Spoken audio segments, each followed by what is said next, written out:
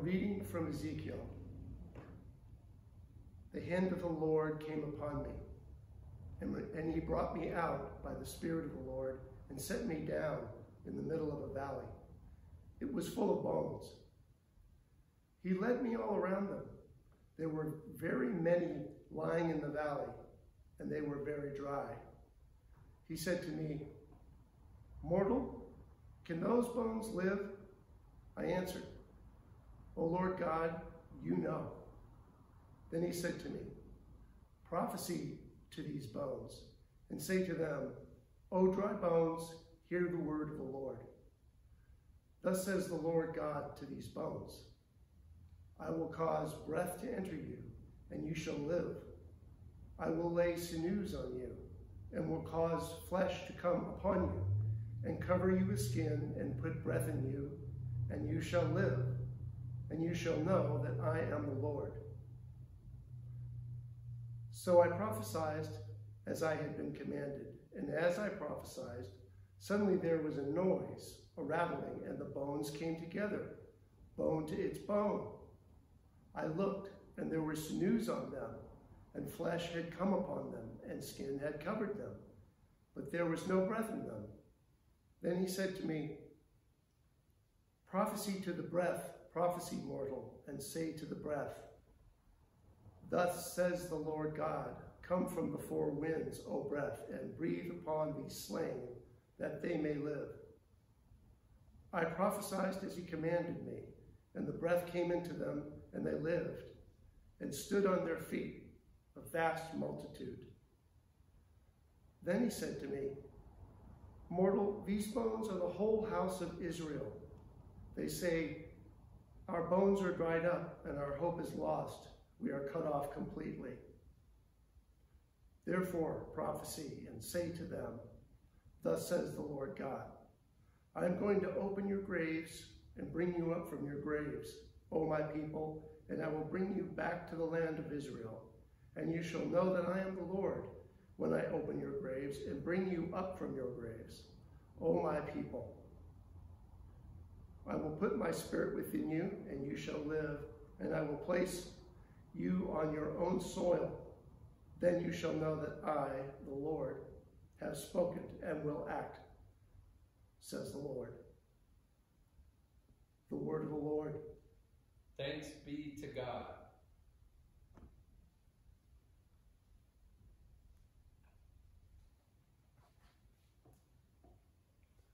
Let us now read Psalm 130. I will read the first line up to the asterisk, and you will do the next line, and so forth. Out of the depths have I called to you, O Lord. Lord, hear my voice.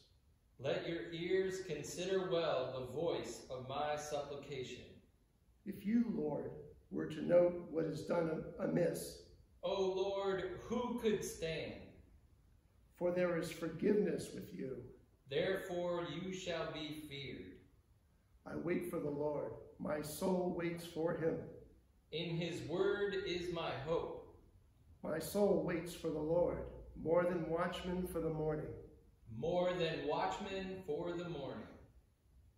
O Israel, wait for the Lord. For with the Lord there is mercy. With him there is plenteous redemption. And he shall redeem Israel from all their sins. Amen.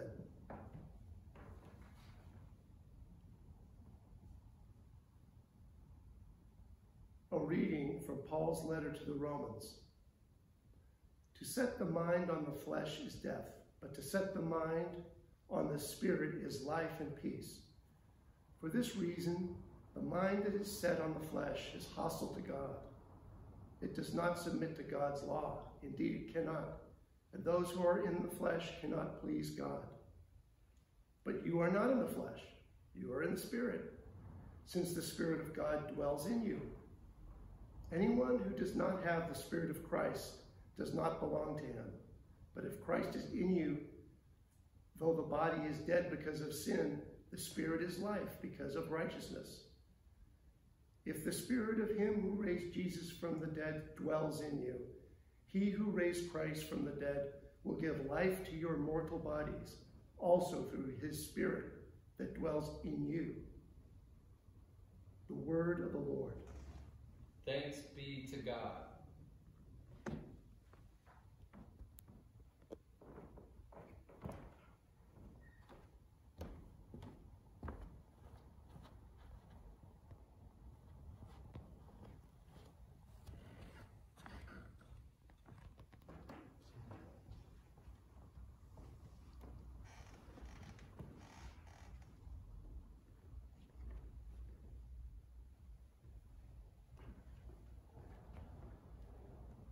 The Holy Gospel of our Lord Jesus Christ according to John. Glory to you, Lord Christ. Now a certain man was ill, Lazarus of Bethany, the village of Mary and her sister Martha. Mary was the one who anointed the Lord with perfume and wiped his feet with her hair. Her brother Lazarus was ill. So the sisters sent a message to Jesus Lord, he whom you love is ill. But when Jesus heard it, he said, This illness does not lead to death. Rather, it is for God's glory, so that the Son of God may be glorified through it. Accordingly, though Jesus loved Martha and her sister and Lazarus, after having heard that Lazarus was ill, he stayed two days longer in the place where he was. Then after this, he said to the disciples, Let us go to Judea again. The disciples said to him, Rabbi, the religious leaders were just now trying to stone you, and are you going there again? Jesus answered, Are there not twelve hours of daylight? Those who walk during the day do not stumble because they see the light of this world. But those who walk at night stumble because the light is not in them.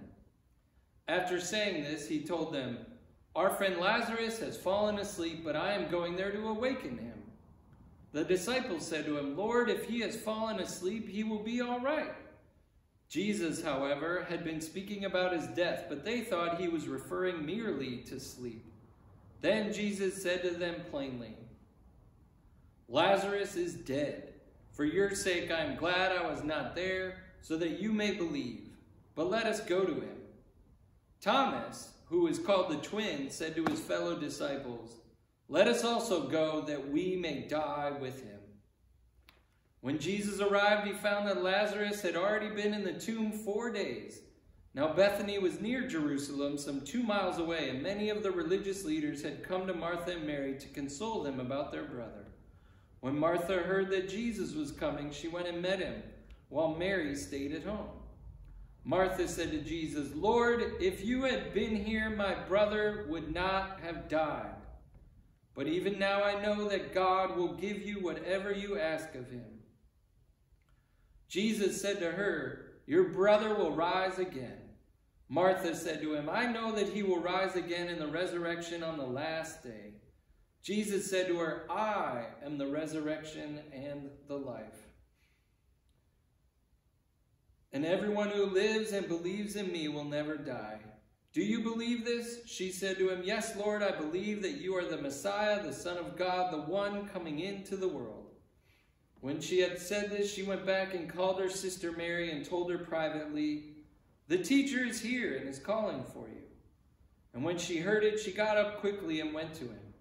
Now Jesus had not yet come to the vi village, but was still at the place where Martha had met him.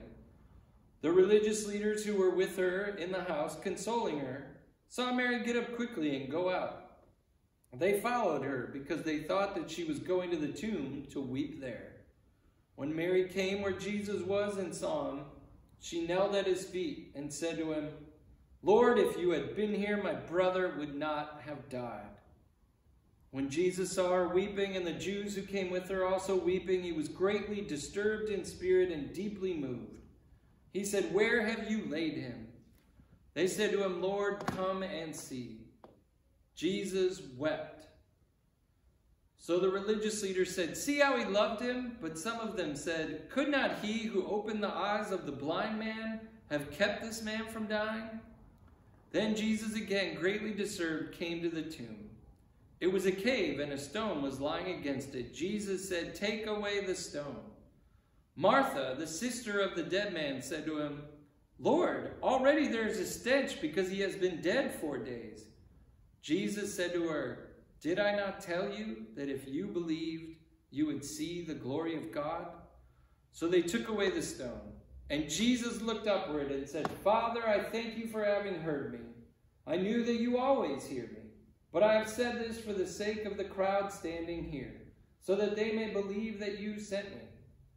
When he had said this, he cried with a loud voice, Lazarus, come out! The dead man came out, his hands and feet bound with strips of cloth, and his face wrapped in a cloth. Jesus said to them, Unbind him and let him go. Many of the religious leaders, therefore, who had come with Mary, and had seen what Jesus did, believed in him. The Gospel of the Lord. Thanks be to God.